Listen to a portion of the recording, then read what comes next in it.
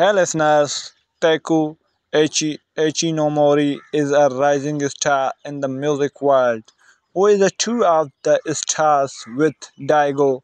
His family consists of his wife, Keiko Ichinomori, and one daughter.